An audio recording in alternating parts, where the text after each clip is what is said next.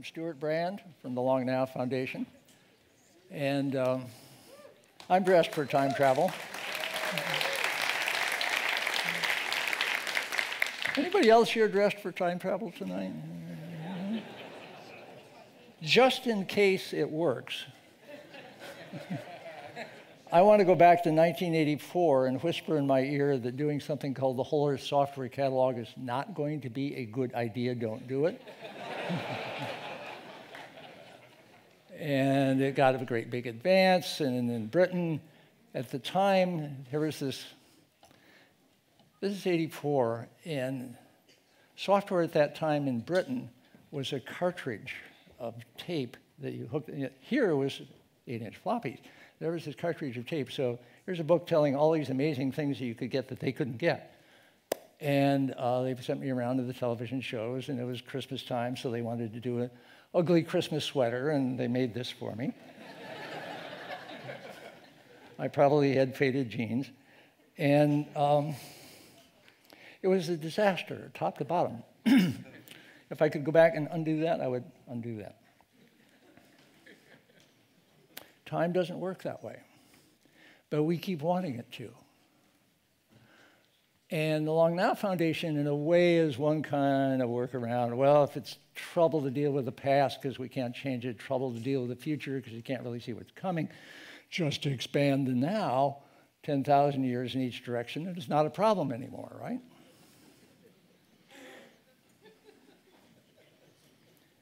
Um, it's sort of working. But the way humans wrestle with the asymmetry of time is one of the most interesting things we do. And every period of time, of every period of civilization, figures different ways to, to deal with the problem. And this is where you want to have an historian of science, an historian of the effects of science on culture to help think about all that. And nobody is better at that than our speaker, James Gleick.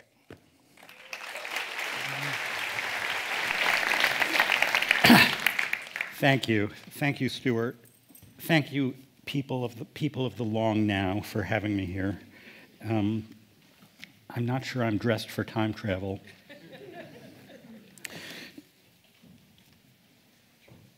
we can turn that off now. I, I want to begin by asking you to cast your mind backward in time, which, which I know you can do, it's one of your superpowers. Let's say it's the 1890s. Put yourselves in the shoes of a young man trying to write a book for the first time. And here's the man. Now, you've seen other pictures of this man, but probably never without a mustache. He was named Herbert, Bertie, to his family, but he preferred to be known by his initials, HG, because that seemed more dignified. Here he is at the normal school in London, which later became the Royal College of Science. And as you might guess from the picture, he's studying biology, where the hot new thing in the history of life is, is um, Charles Darwin. And he's also fascinated by the new geology as revealed by Charles Lyell. These two Charleses, not by coincidence, are giving humanity a new view of the eons of time stretching out behind them. Anyway, you are a very young H.G. Wells, planning your, planning your future mustache. and you have an idea for a fantastic tale that takes place far in the future. You think of yourself as a futurist, though that's barely even a word. Most ordinary people never even think about the future. Or if they do, they regard it, and I'm quoting HG now, as a sort of blank non existence upon which the advancing present will presently write events. You, however, are more creative. You're forward looking. Now, just in terms of storytelling technique, Wells had a technical problem. Nowadays, a, writer might just tell the reader it's the year of our Lord 802,701, and get on with the story. But you couldn't do that in the 19th century. It was too weird. People couldn't wrap their minds around it. And by the way, right around the same time, in 1889, Mark Twain had a similar problem. He needed to transport a modern day Connecticut Yankee back to the time of King Arthur's court. So he does it by beginning his tale with a prologue titled A Word of Explanation. In this prologue, a curious stranger strikes up a conversation with the narrator and says, You know about transmigration of souls. Do you know about transposition of epochs and bodies? This is what we would call nowadays mumbo jumbo. but Mark Twain couldn't use the word time travel because there was no such word, there was no such concept.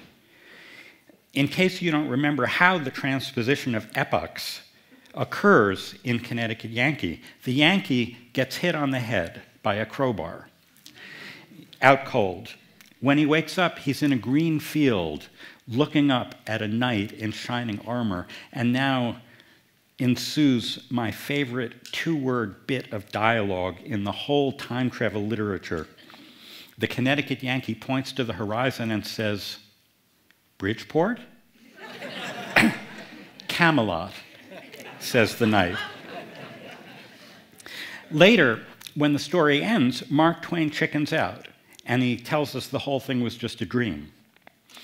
So he missed his opportunity. How did Wells solve his narrative problem? Well, you already know. He invented a time machine. It's famous. So, can you visualize the time machine? I'll give you a second. Close your eyes if it helps. Maybe you were picturing this a plush red chair, great spinning disc, colored light bulbs, but this is not H.G. Wells' time machine. When you consult the book, you discover that Wells hardly describes the machine at all. There's some fast verbal hocus pocus and an impression of shiny nickel and ivory and brass rails and some screws to be loosened with oil and a lever and a saddle to sit on. Actually, the time machine is a fantasticated bicycle which makes sense. Wells was a proud bicyclist, and he'd never seen a motor car, of course. And so, if the funny Baroque sled overwrote the original in your brain, it's probably because you saw the 1960 Hollywood version directed by George Pal. So, this is Rod Taylor at the controls.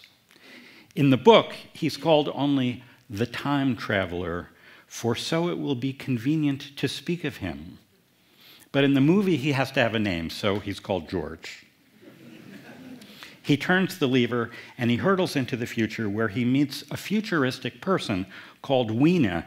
In the book, Weena is a tiny creature. Here she turns out to be Yvette Mimieux. Later, Yvette married my cousin Stanley, but, but that's, that's true. But that's, but that's another story. Now, you can see that George and Weena are getting to know each other. Weena is strangely ignorant of history. George says, Don't your people ever speak of the past? There is no past, she says. Do they wonder about the future? There is no future. She lives in the now it seems. And H.G. Wells thought most of his contemporaries did too. They lived in the now. Here we are, the 21st century, the people of Wells's distant future, and we are time travel experts. We are aficionados. Time travel is everywhere. It's in pop songs, TV commercials, it's in the wallpaper. We've got time machines, time gates, doorways, windows, not to mention time ships and special closets, DeLoreans, police boxes. Animated cartoons have been doing time travel since 1925. In Felix the Cat Trifles with Time, Father Time agrees to send the unhappy Felix back to a faraway time inhabited by cavemen and dinosaurs. In a, in a 1944 Looney Tunes episode, Elmer Fudd dreams his way into the future.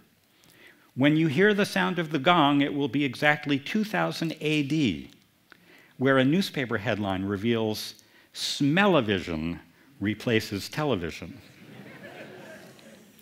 then, by 1960, Rocky and his friends were sending the dog Mr. Peabody and his pet boy Sherman through the Wayback Machine to straighten out William Tell, Calamity Jane. The next year, Donald Duck made his first trip into prehistory to invent the wheel. Homer Simpson, you may remember, found an unusual device to use as a time machine. Right, a toaster. And there's Peabody and Sherman floating by. Uh, apparently, time travel is so crowded by this time it needs air traffic control. About five years ago, China's State Administration of Radio, Film, and Television officially denounced time travel, warning that these stories interfere with history. I'm quoting casually make up myths, have monstrous and weird plots, use absurd tactics, and even promote feudalism, superstition, fatalism, and reincarnation. And they're right, in a way. Time travel is subversive. It's not just in popular culture either. Physicists love to specula- speculate about time travel. Neuroscientists, psychologists have created a whole field of study called mental time travel, or on formal days, chronesthesia. Philosophers, when they talk about the metaphysics of change and causality can't help but start talking about time travel and its paradoxes. So it's strange to realize that the concept is barely more than a century old. It seemed strange enough to me to be worth a book. Time travel feels like an ancient tradition rooted in old mythologies like gods and dragons, but, but it isn't. The ancients imagined immortality and rebirth and reincarnation and lands of the dead, but the idea of getting into a machine or walking through a magic portal or even getting whacked on the head in order to travel to the future or the past, this was beyond their ken. So the obvious question was why? Why did it take so long to invent time travel, and then why did it happen when it did? Well, a lot of things were happening all at once. At, at the close of the 19th century, there was huge curiosity and excitement about the wonders of progress.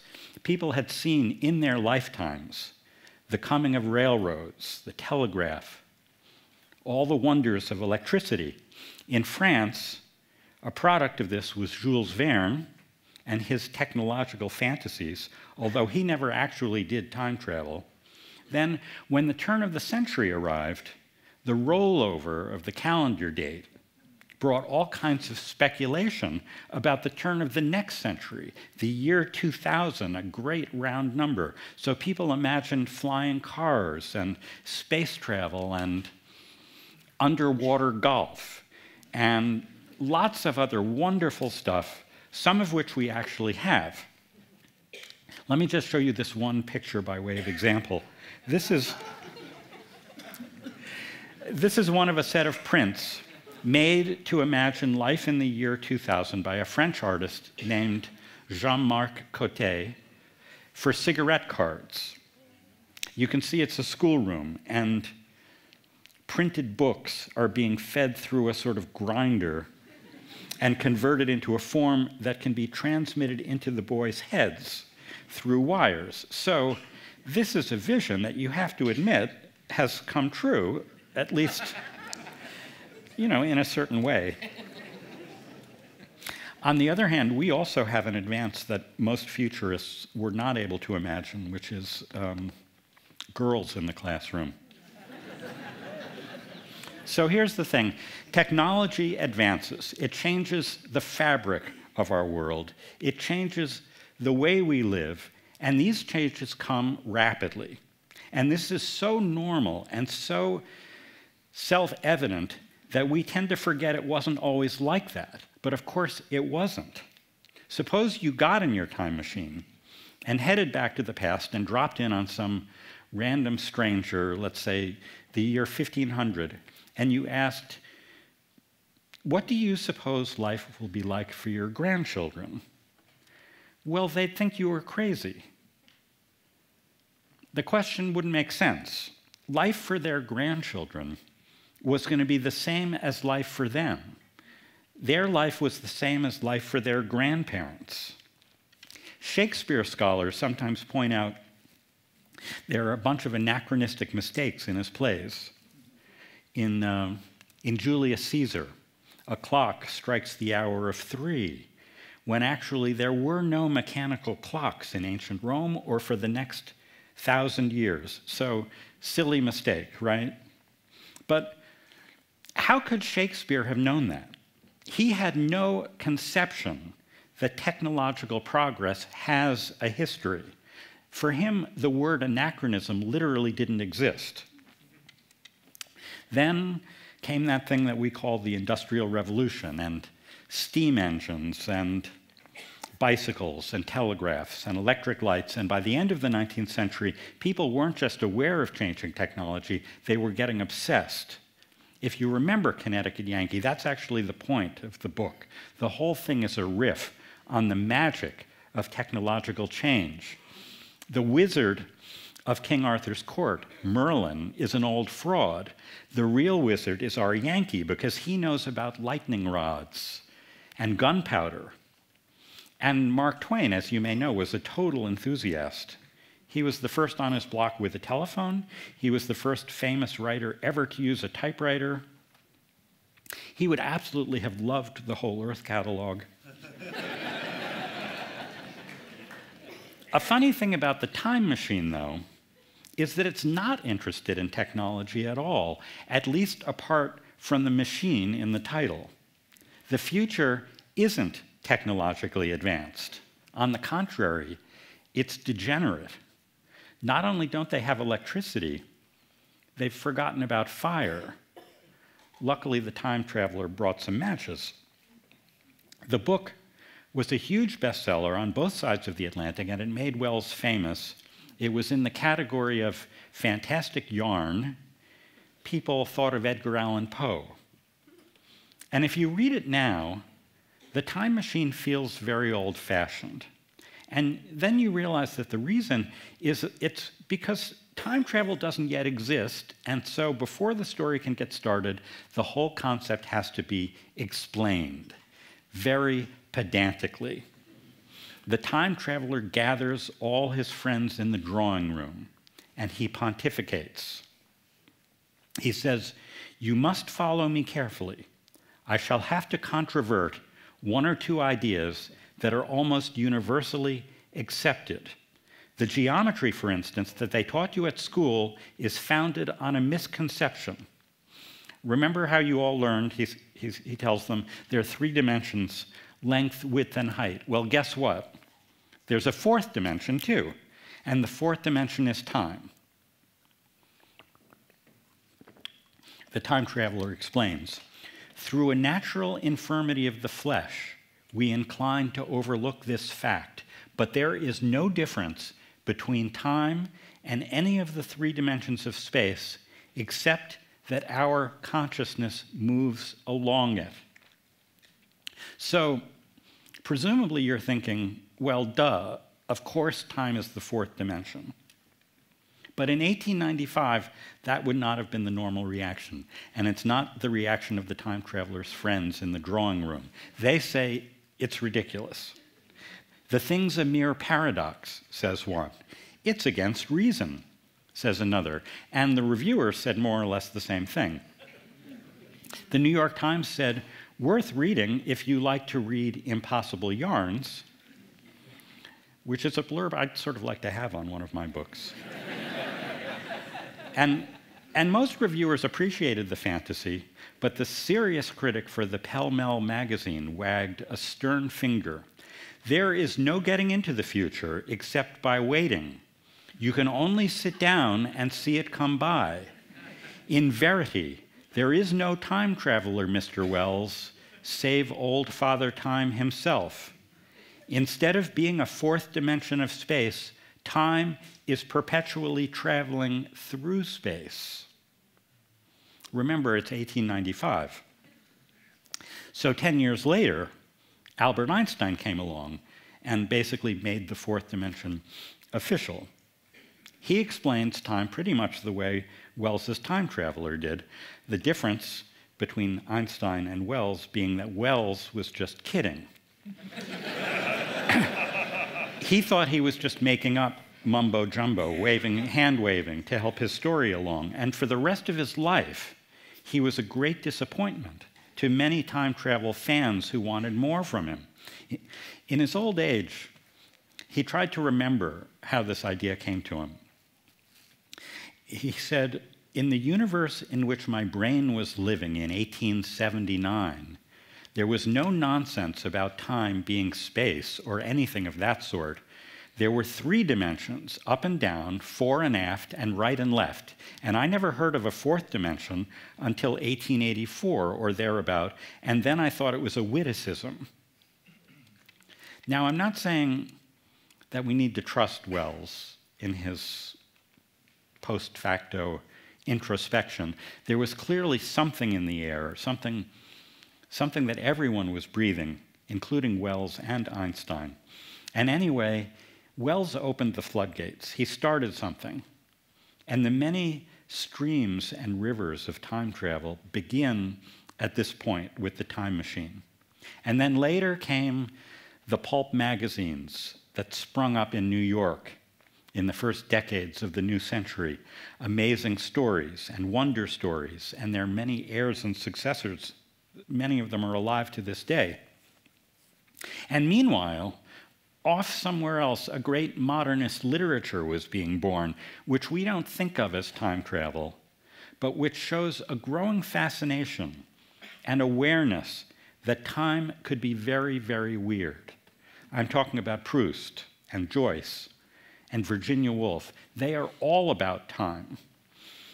Time is their subject, and, and time is being manipulated in their work in new ways. Proust wrote, near the end of his great work. The fact that we occupy an ever larger place in time, capital T, is something that everybody feels. A larger place in time. We occupy that larger place. We embody time. We take the past and the future on board. It's an odd thing to say that everybody feels that, but it's true today, isn't it? So let me ask you all a basic question. I can barely see you, but I'm, I'm going to ask for hands anyway. Let's say you are awarded the use of a time machine, good for one voyage, safe return guaranteed. It's a return trip. Do you go to the future or the past? Future? Past? I think it, it, looked like there was a little more future in this crowd, which is a, a little unusual. Um, here's an answer from here's an answer from Twitter via Joyce Carol. This is from Joyce Carol Oates.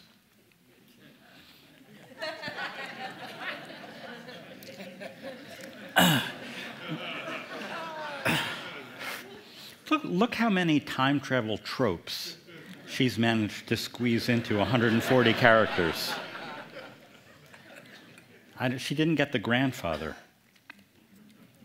Um, when I started working on my book, I have to admit, I assumed that most people would automatically choose the future. And I, I assumed that I would go to the future. And Wells himself, interested though he was in the history of the world, never bothered sending his time traveler back to check out the dinosaurs or interview Shakespeare. He was a future guy all the way. But of course, my assumption was completely naive. And, and nowadays, especially, the future is not as, well, it's not as shiny and appealing as it once seemed. It didn't take long, when you look at the history of the time travel literature, for other writers to see the possibilities of hurtling backward in time. And I don't mean getting bonked on the head and waking up in Camelot. I'm, Camelot. I mean traveling freely to times of your choosing. One of the first writers to explore retrograde time travel was in the first years of the 20th century, a younger friend of Wells named E. Nesbit, E for Edith. She was a fellow, forward looking, free thinking socialist. In her book, The Story of the Amulet, she sends a pack of child heroes back to ancient Egypt and to Babylon and to Atlantis, not necessarily all real pl- places. In, in Atlantis, people are riding around on hairy mammoths and so on. In this cover drawing, you can see them checking out the mummy at the British Museum, which was London's very own time portal. Without intending to, Nesbit was inventing a time travel subgenre We can see it later includes classics like Sherman and Peabody, Bill and Ted's Excellent Adventure.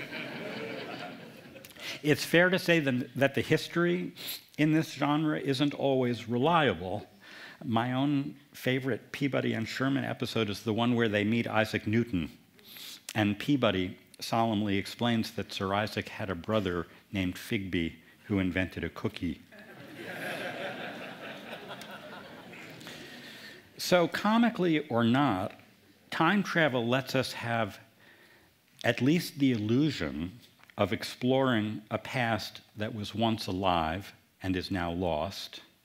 These stories let us feel that the past is still there, waiting for us to come find it. We get to exercise muscles that we use whenever we, whenever we look at old photographs, when we go to museums, when we collect antiques, when we investigate history. I was struck by a remark of the great German writer Sebald. Might it not be that we also have appointments to keep in the past, in what has gone before, and is for the most part extinguished, and must go there in search of places and people who have some connection with us? on the far side of time, so to speak. That's the impulse at work here. The, the past pulls at us. We have appointments there. But it's just a beginning because as soon as people started imagining actual time travel into the past, they came face to face with inescapable problems, the famous paradoxes. Even Edith Nesbit's children saw this. At one point, they meet Julius Caesar at his tent in Gaul, looking hungrily across the English Channel for a new country to conquer. And they try to talk him out of it. Oh, please, sir, don't conquer Britain. It's a poor little place, hardly worth your trouble. But this backfires. They end up talking him into it because, after all, that really happened. And you can't change history. This is a rule. And of course, all rules are made to be broken, and before long, we're all going back and we're killing Hitler.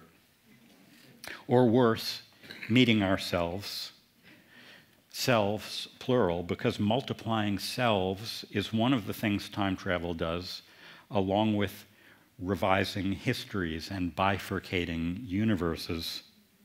Here's a time, here's an example of a time travel time traveler meeting themselves. On the right, I'm sure many of you recognize Joseph Gordon Levitt. He is Joe. This is the 2012 movie Looper by Ryan, John, Rian Johnson. Joe is a, a sort of time traveling hitman. And, and on the left, Bruce Willis is also Joe, only older and wiser. So they're meeting for the first time. Young Joe has a few questions, as you can imagine. And old Joe says, I don't want to talk about time travel shit because if we start talking about it, then we're going to be here all day talking about it and making diagrams with straws. so the internet being the internet, it took no time at all for people to make diagrams with straws meant to explain the movie's very twisty plot. And that's an example. But I'm not going to leave it up there long enough for you to try to figure it out. We'll be here all day. But here's another diagram in the same family.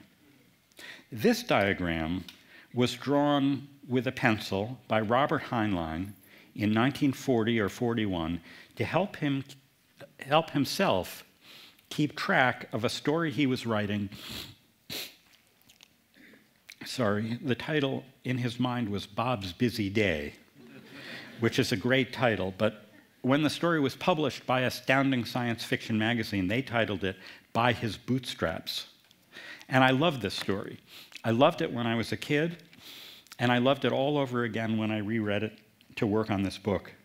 Um, part of what's wonderful about it is that you can see that it's still early days for time travel. 50 years have gone by since The Time Machine, and pulp fiction writers like Bob Heinlein pounding their typewriters for peanuts, trying to figure out the rules, the rules of the game. And you can watch their creative minds at work. By the way, Heinlein got paid $70 for this story. It opens with a man named Bob sitting in his room typing his philosophy dissertation, which is apparently uh, about the metaphysics of time travel. And behind him, he suddenly hears a voice saying, Don't bother with it, it's all hogwash. And he turns around to see a chap about the same size as himself and much the same age, maybe just a tiny bit older, with what looks like a three day growth of beard and a black eye. And the chap has apparently emerged from a hole hanging in the air. And he opens a cupboard and helps himself to Bob's gin. And he says, Just call me Joe. Well, we 21st century people are savvy about this stuff, and we see right away what's going on. But Bob is slow to catch on. Joe tells him the hole in the air is a time gate. He wants Bob to walk through it into the future. As they discuss it, a third man materializes, and he bears a sort of family resemblance to Bob and Joe. And he emphatically does not want Bob to listen to Joe. And then the phone rings, and it's a fourth man checking on everyone's progress. And hilarity ensues. We know that all the men are the same, but not everyone is in on the joke, or rather, they are let in at different times. It's a, it becomes a farce. Doors slamming, and a confused and angry girlfriend, and a hat that keeps getting lost and found and lost again. and meanwhile, Bob Heinlein, who may think he's just a hack writer without a lot of pretensions, is actually quite serious and can't help but following where the story leads, which is into some deep philosophical thickets. Is there one self, or are there many? Does the self have continuity, or is it created anew at every instant? This is a problem for us back here in the real world, where we remember our younger selves, who both are and are not the person we've become.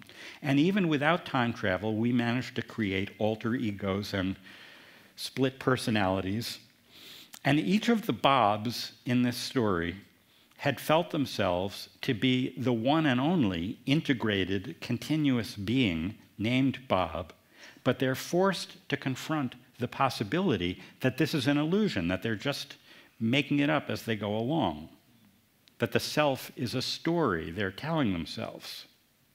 And this isn't the only problem. Heinlein also finds himself confronting the issue of free will and determinism. He can't help it, you might say. As soon as any of the Bobs go back to an earlier day and relive an episode they've already been through, they're bound to ask, Can't I do it differently this time? When Bob 1 is talking to Bob 2, deja vu is inevitable. He feels he's reciting a script. He's on a treadmill and he can't get off, and he doesn't like it. He tries to argue with himself. This is impossible, Bob says to Bob. You're telling me that I did something because I was going to do something. And Bob replies, Well, didn't you? You were there. Well, we're not going to solve this problem in one story, and also we're not going to solve it tonight. But time travel is heavily implicated. I'm going to say it's a tool we're using collectively as a culture in an investigation of free will and faith and the nature of the self, the paradoxes of memory.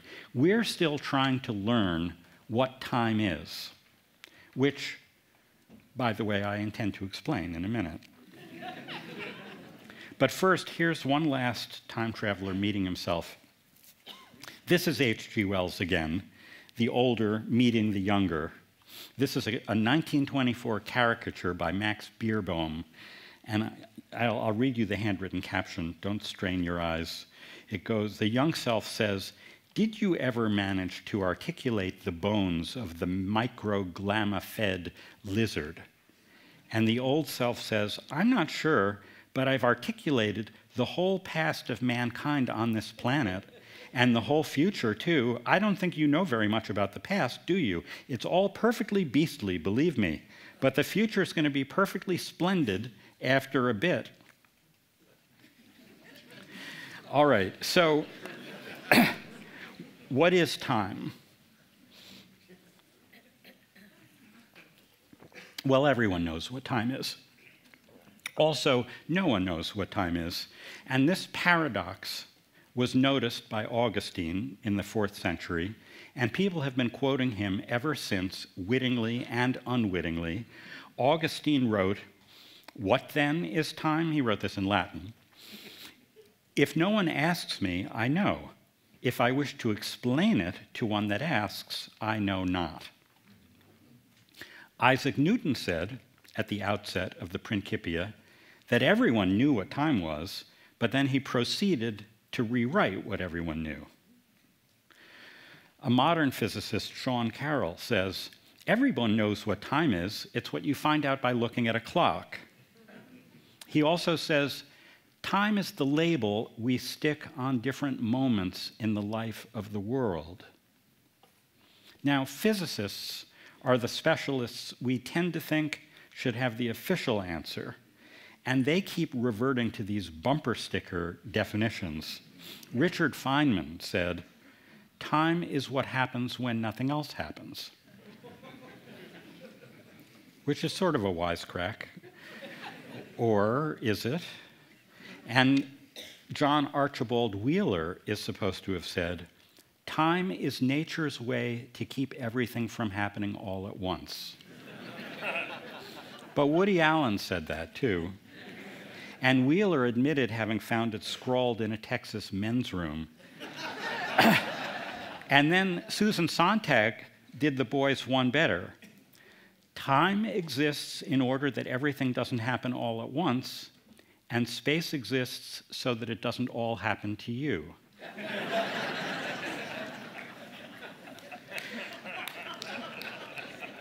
When Augustine contemplated time, one thing he knew was that it was not space. And yet, Lord, we perceive intervals of times and compare them and say some are shorter and others longer. We measure time, he said, though he had no clocks. We measure times as they are passing by perceiving them, but past, which now are not, or the future, which are not yet, who can measure? You cannot measure what does not yet exist, Augustine felt, nor what has passed away. Nowadays, of course, we do measure time.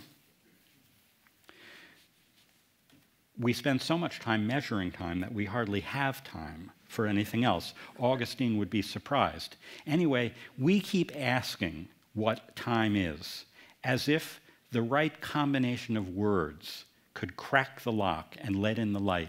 We want a fortune cookie definition, a perfect epigram. Daniel Boorstin says, Time is the landscape of experience. Nabokov says, Time is but memory in the making. Martin Heidegger says, There is no time.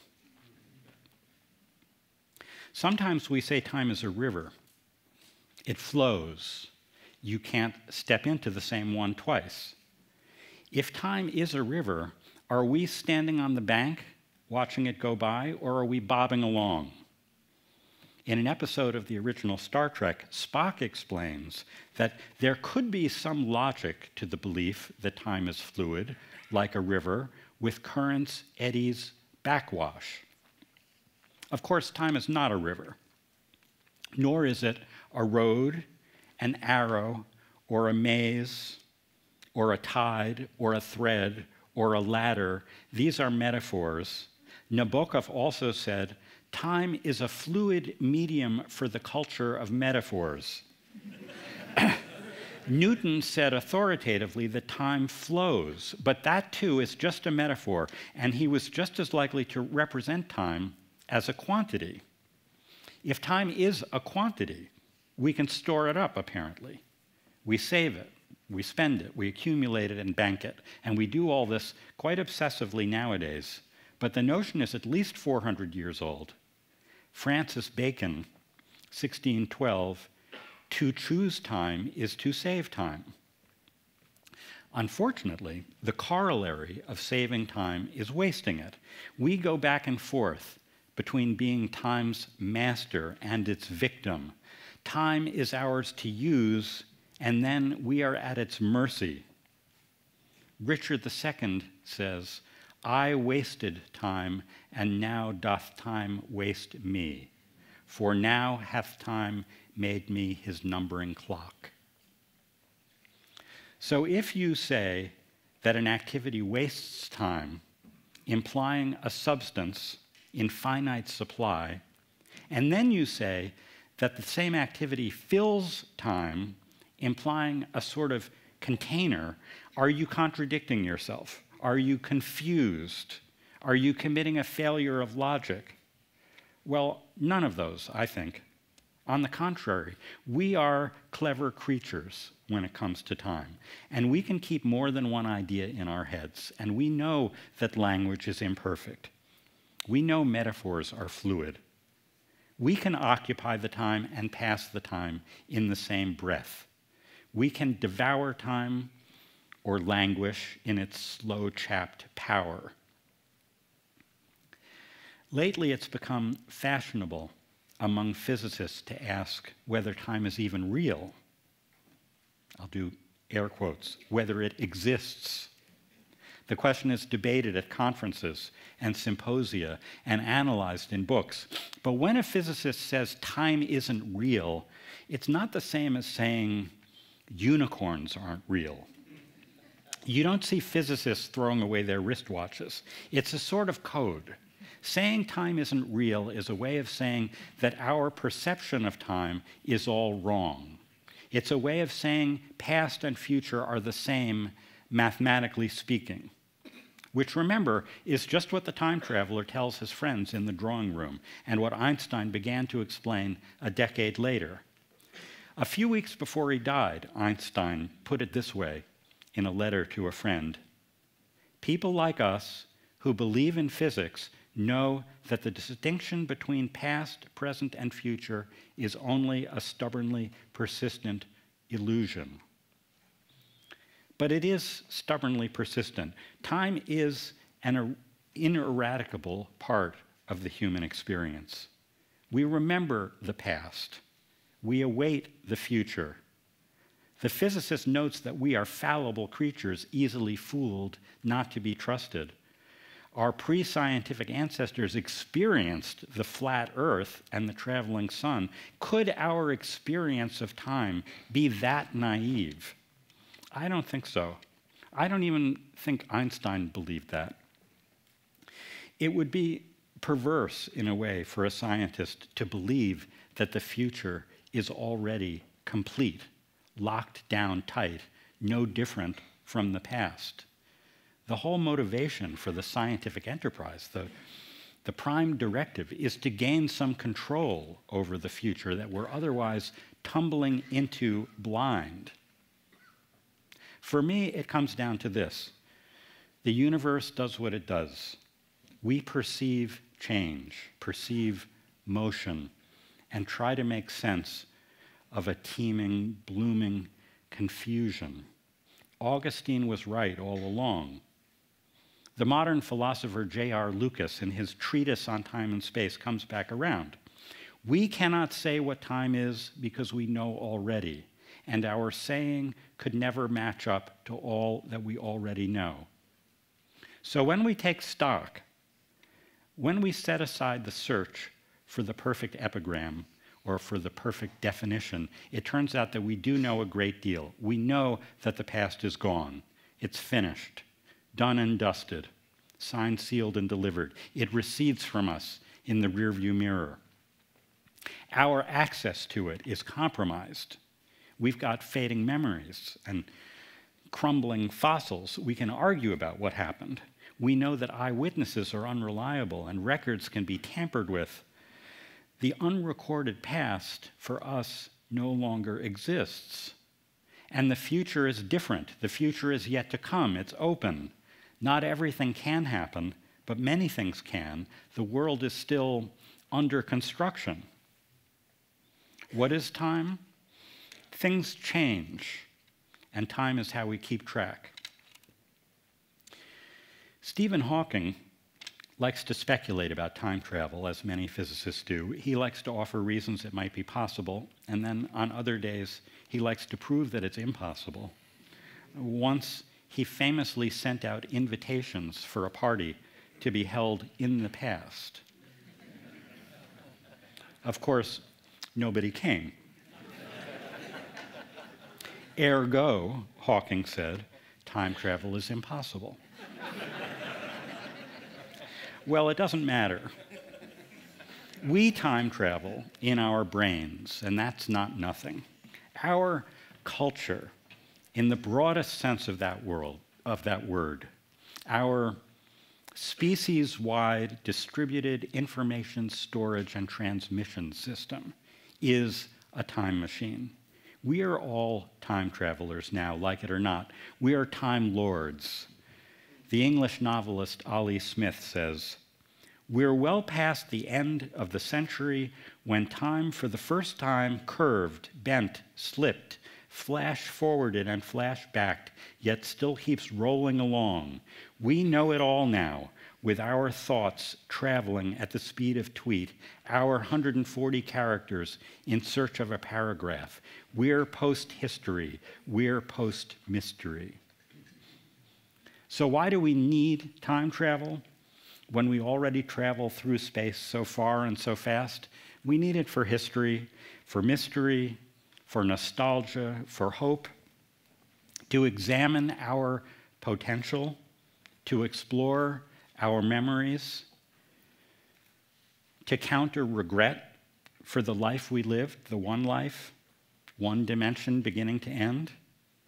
We need time travel because time is a bastard.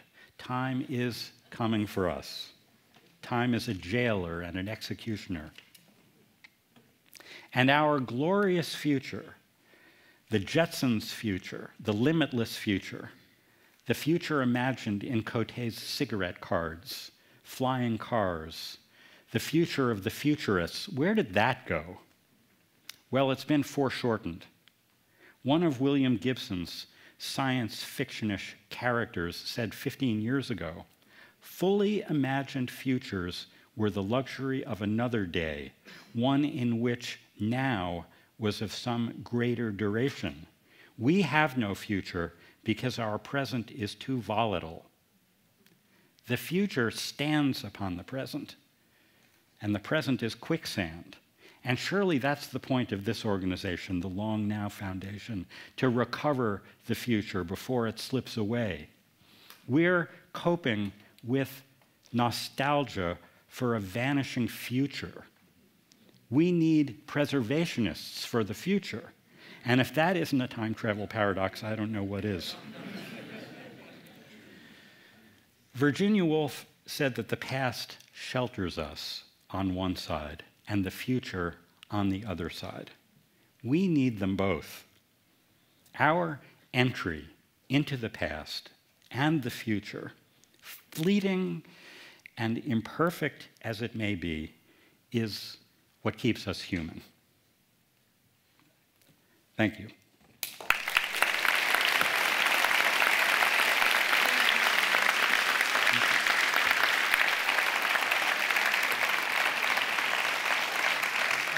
A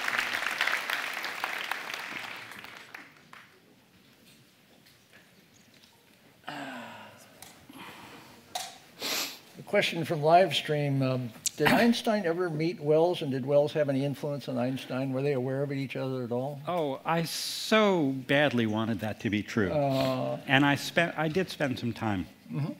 thinking about it and hoping I could find some scrap of some shred of evidence. I, Einstein, you know, is pretty well documented, and, I, and we would know if he had. And also, uh, was, it was a while before the time machine was translated into German. So, so I'm going to say no. It, it didn't work that way, but, but it, I, you know, I said they were breathing the same air. Mm-hmm. They really were in this world where Einstein was being influenced by the existence of electric clocks at railway stations, mm-hmm. by, by a recognition of simultaneity that was created by the electric telegraph. So it, it didn't have to happen.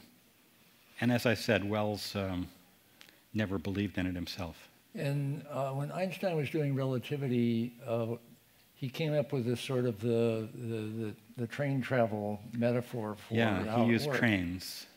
And in the absence of trains, that might not have actually been a way for him to think about it. No, that's right. And he needed the the idea of trains going going past you at high mm-hmm. velocity. That mm-hmm. was that was also an influence on Wells. Mm-hmm. I mean, Wells was living in in um, Victorian England, and and you could ride a train and look out the window and see a farmer with an, a, a plow behind an oxen. That was a scene that, that existed 400 years earlier, and you're going zipping past on a, on a with a steam engine, and you can mm-hmm. see telegraph wires mm-hmm. across the landscape, and you have you experience a kind of temporal dissonance that was that was new an analog of cognitive dissonance. Mm-hmm. And, and I, I think that's something that, that had to have affected both Wells and Einstein and all the rest of them. I mean, this is really the point, yeah. not just these two guys, but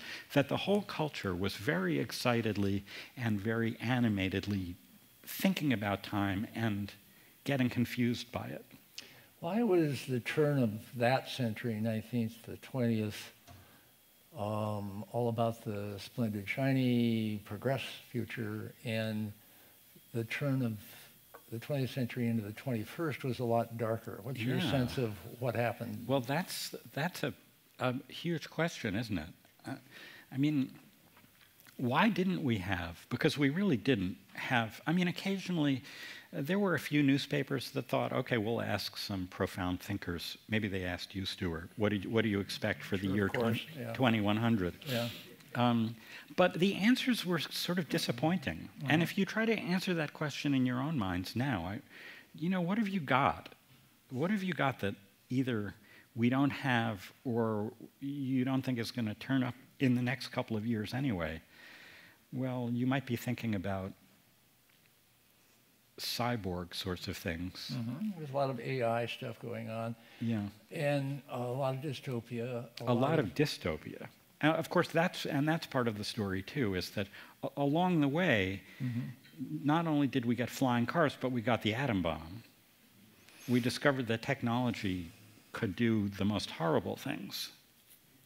And yet, uh, by the late 60s on into the 70s, we're getting space travel. We're going to the moon. We're getting the image of the Earth from space, which kind of replaced the mushroom cloud is the way to think about the big things going on. And all of that was kind of hopeful and out there. And Heinlein was totally into it. This is, you know, humanity's bar mitzvah. We're going forward. And yet, uh, by the year 2000, it was, uh, oh my God, we're all going to die because of the Y2K bug. Yeah. and, and, and space travel seems to have fizzled a little bit. I'm human space travel, and I'm not sure, I'm not sure why that is. Not, there's a good biological answer to that, which is robots are happy in space and, and uh, flesh isn't. I'm, are you sure that robots are happy, Stewart? the artists I hung out with in the 60s, a group called USCO, our theory was that, uh, we referred to it then as radios were uh, encouraging humans to basically develop radios so that they could live in space because that's where they were trying to get to all this time. And once they got there, they would throw us away. Yeah. Um, yeah, I think it's also true in all the science fiction I was reading when I was a kid, all the space, mm. much more space travel than time travel. Mm. People kept dying all the time. I mean, things went wrong. There mm. were things exploded. It was space travel was dangerous. And then in our real world, when people started dying, we really we didn't like it.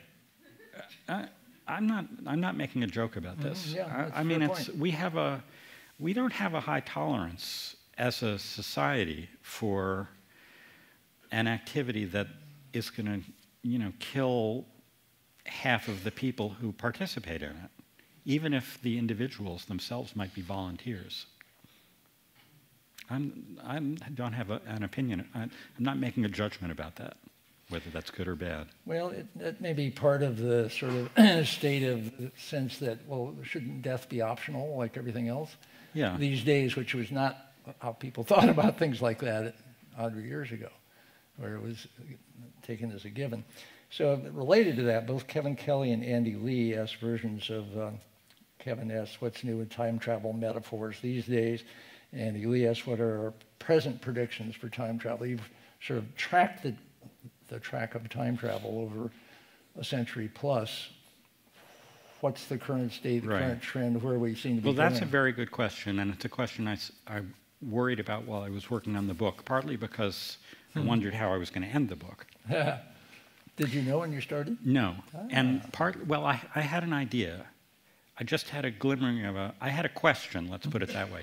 The question I had was Is something new happening to our sense of time in our hmm. hyperspeed, hyper connected mm-hmm. world?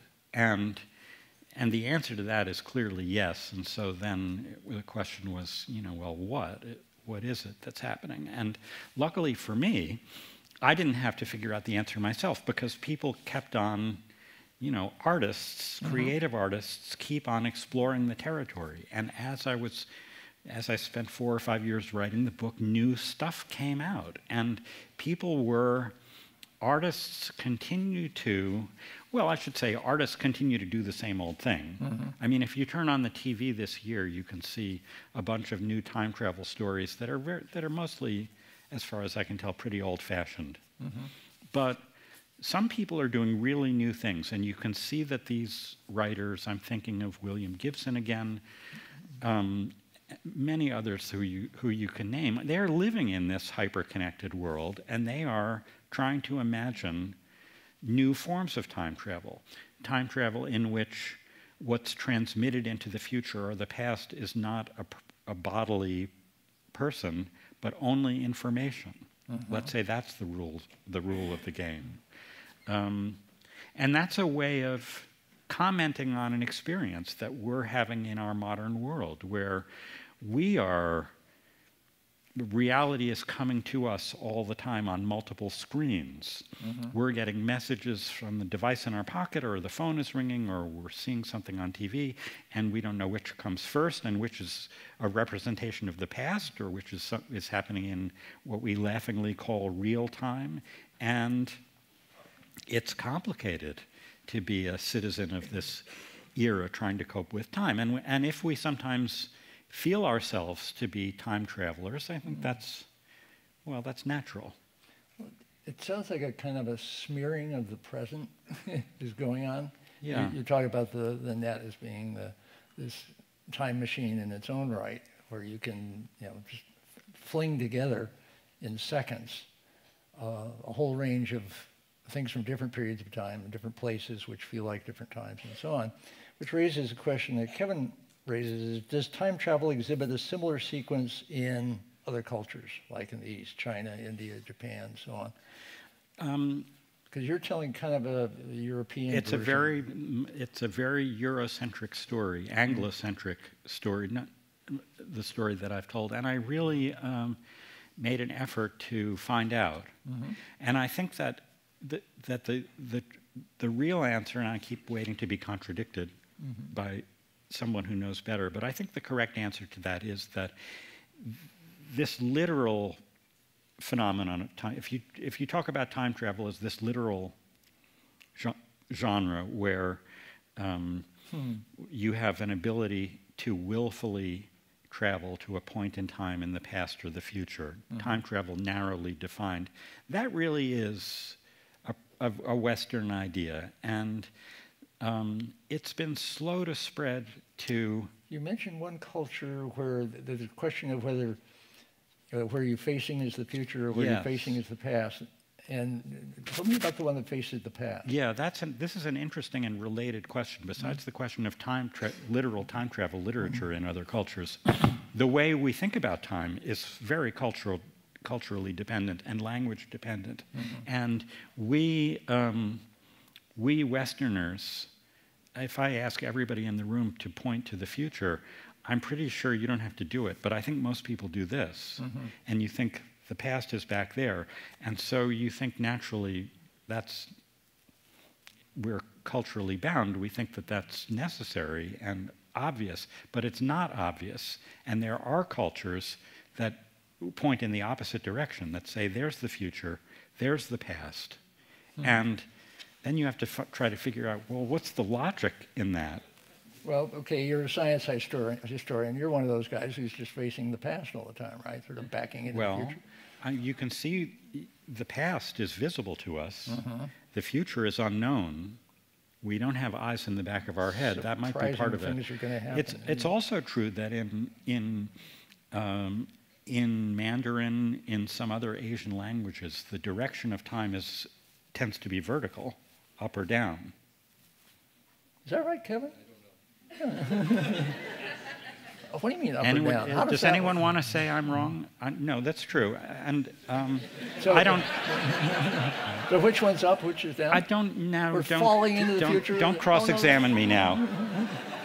Uh, but the, the point is that Rising into the that future. um, our ideas of of time, our ideas of everything, but Mm-hmm. in particular of time, have a lot to do with the language that we speak, and we get into we learn certain habits early on in life, Mm-hmm. and those habits seem natural to us. So one of the deep cultural events is religion. And what do you make of what the various religions do with time? Well, that's, that's another question that I wanted to take seriously in the book, even though I'm not especially religious myself. There are, Good. I mean, I, I mean, first of all, I mean, that gives you some, you know, you're not going to Oh. argue one particular, I'm not going to hell. yeah. Um, it's not, it's, it's not at all obvious. I mean, I have some religious friends, and I cons- some theologically sophisticated friends who I consulted on, on questions like, well, is God in effect a sort of time traveler? Is he alive in the past and the future all at the same time? Is all of time visible to him or her? So you might be thinking the answer to that is obvious, but I hope that for some of you it's obvious one way, and for some of you it's obvious the other way, because you can argue it both ways. Um, certainly, if you think God is omnipotent and omniscient, that ought to include knowledge of the future. No surprises But, right. but when you think about the stories we tell about God, he tends to be an interventionist. He mm-hmm. tends to care what we do.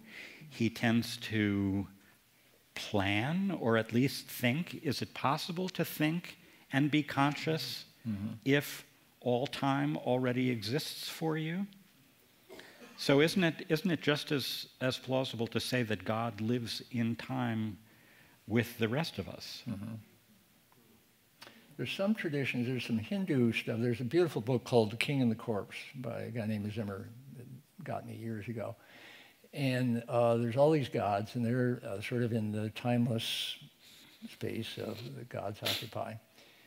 And uh, they are desperately interested in what these seemingly trivial humans are up to because they live in time and they discover stuff, and the gods don't get to do that.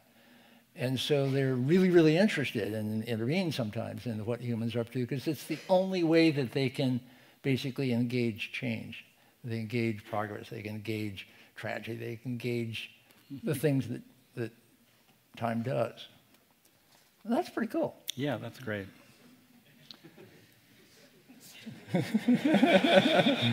Looking for another question. Uh, Jonas Bashir asks, isn't the notion that my life will be different from my forebears uh, just another name for modern and is science fiction related to that so-called first draft of the future. There's a lot of reference in Silicon Valley and elsewhere of sort of tracking on science fiction as a source for good ideas. Uh, let's have a tricorder uh, kind of thing. Um, you know, where's our goddamn flying cars? And there's people, you know, working seriously on that. Uh, is that a role that science fiction and these time travel things have is to sort of propose where we might go with this malleable future?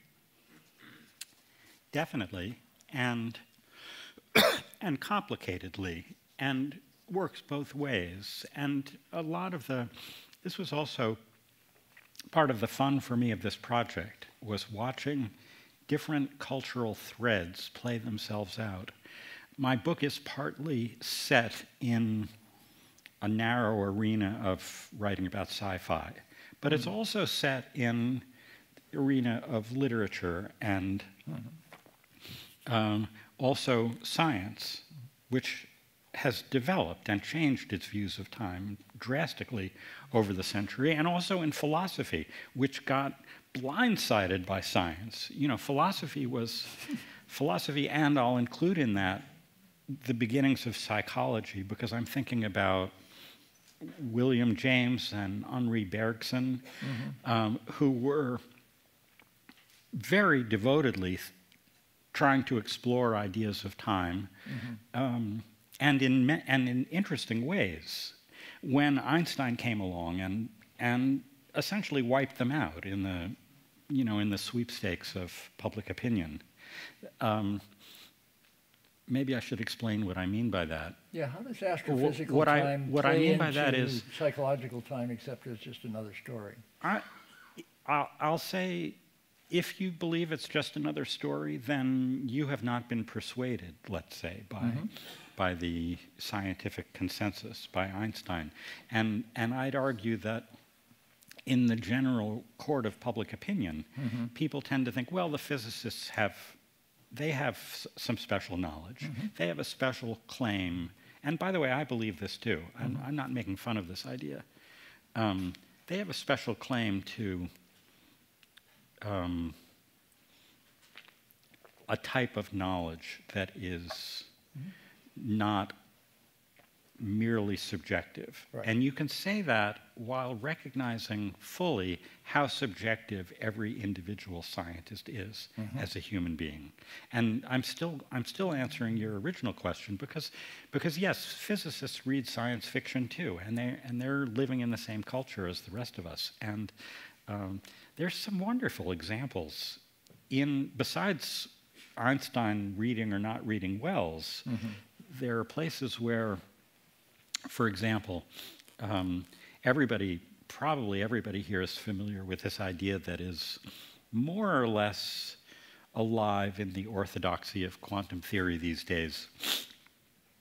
of multiple universes. Mm-hmm. The idea that, um, that it's legitimate as, a, as an interpretation of, of quantum mechanics to say that every quantum event is a forking of the universe, uh, a bifurcation mm-hmm. into, into multiple universes, um, which you're, you may or may not take seriously, but some physicists do, so we'll accept that as at least on the table.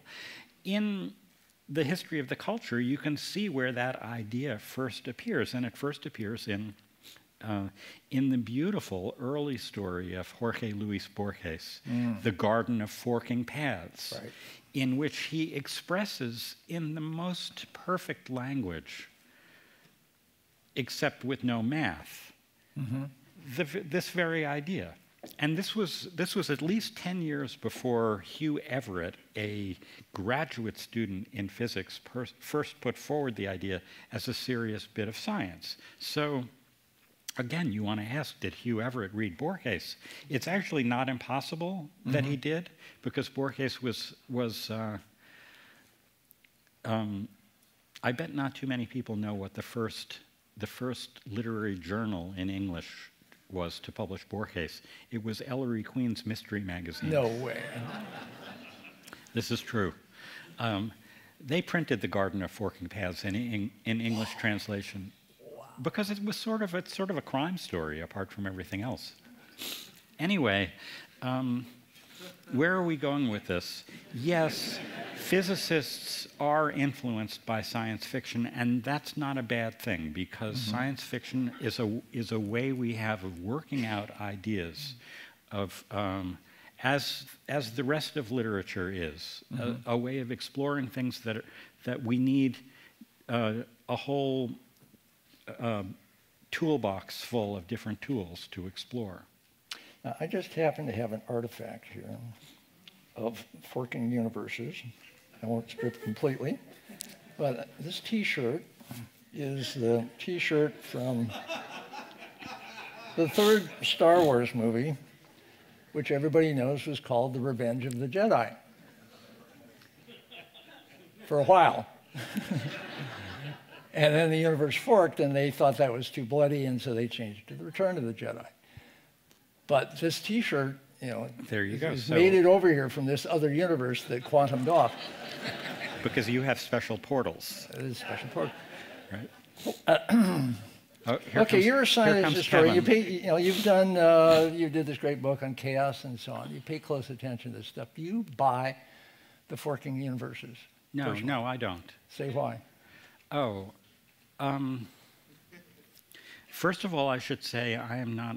I'm not an authority. I'm not a scientist, and and I do have a kind of um, willingness to trust scientists as generally authoritative uh-huh. up to a point, but um, but we're also we're entitled to use judgment. We're entitled to um, use common sense and and use the scientist's own methodology. And one one bit of, of science that I think is, even though it's not official, is actually really useful is Occam's razor. Mm. Don't look for complicated explanations when simpler ones will do. Don't, don't multiply entities unnecessarily. well, what is the most extreme example of multiplying entities unnecessarily? Mm. Than claiming that every time a particle splits, the entire universe splits and the cat is dead in one universe and alive in the other universe. Uh, also, because I looked at the history. And yet you buy quantum, which is just as difficult. Well. I don't. It's not that I buy it. I don't feel I have the luxury of buying it or not buying it. I mean, mm-hmm. I accept it as a as a model that works. Mm-hmm. I, I, should say, um, kind of as a general statement of the spirit of science, that that for I feel strongly that the, the correct that there is a correct spirit of science mm-hmm. and an incorrect spirit of science. I'm about to completely contradict wow. myself, by the way. I'm, and I'm going to say that the incorrect spirit of science is to say that we're going to find out everything. Mm-hmm. We're going to answer all the questions. We're going to get to the truth, and that the, and that the purpose of science is to reach the final truth about things. Mm-hmm. There are other scientists who have a much more modest view of the endeavor, mm-hmm. who are just as serious and just as rigorous, I should say, just as mathematical, um, just as reliant on experiment just as devoted to the truth, who believe that the purpose of science is to continue asking questions and to maybe get closer and closer to a workable view of reality, but not to find a final reality because there may be no such thing as a final reality, at least that's accessible to us so, poor humans. As you said about this book, Time Travel, and sort of building on your own uh, delight with what Heinlein was doing back when with Bob's Busy Day. Um, and a, your kind of book is, is an inquiry. You go in seeing possibilities, things are kind of starting to cohere and coalesce and gel and make sense, and they lead you on. There's some curiosities that are drawing you into it. So you have different ideas at the begin of a at the end of a process like that than you had at the beginning. Can you say a little bit about how time travel changed for you or time changed for you during the progress of your research and writing? Did you come out in a different place than you started? Yeah, I'll say I'll say two things. I'll say one sort of trivial thing, and you're going you're to think this is ridiculous, but but I did I, I had an, an idea when I started the book that maybe time travel as a genre was coming to an end. Ah. That maybe everything had been explored that mm-hmm. could possibly be explored. I mean, when you think about it, every everybody w- tries to one up the writer who came before, and if um, you know, if Heinlein is first he has Bob meeting himself five times, then f- a few years later he writes a, a, a transgender time travel story where uh, the time traveler is his and her father and mother. Mm-hmm. This, this book you may know is All You Zombies. Anyway, I thought, okay, everything has been done. well, as, as I said earlier, everything hadn't been done, and people kept surprising me and coming up with new things. So that was good. Mm-hmm. But the other thing I want to say is um, I did have a kind of, I came to a sort of realization about no, I don't want to say how we should live, because I don't do that. I, I mean, I hate that kind of book. But, but I, I realized that a thing that I had always thought was a, a good piece of wisdom live in the now, uh-huh. people tell us. Um, enjoy the present. Don't waste your brain cells agonizing over lost opportunities hmm. or worrying about what the future will bring because you have no control over that. You know, just enjoy the totality of the sensory experience that is coming to you at this instant. Well, I, I suddenly realized as I was working on this book that that's terrible advice. that that a, a, potted plant lives in the now.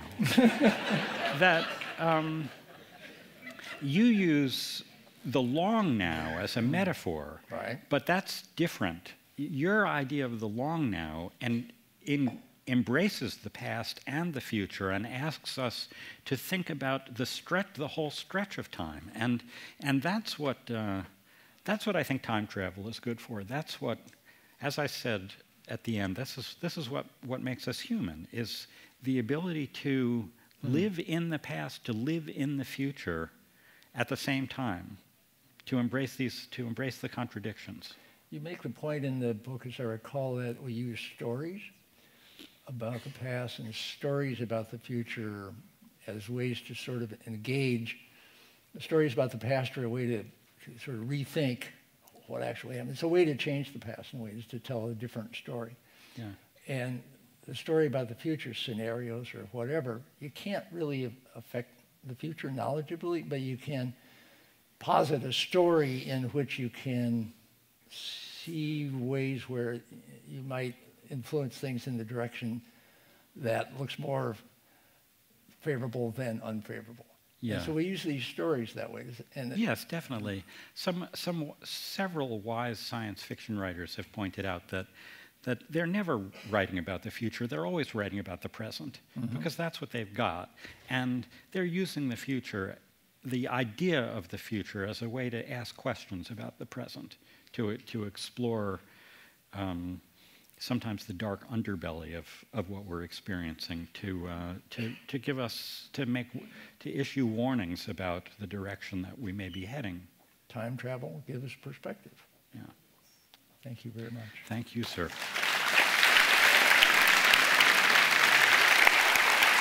Thank you. Thank you all.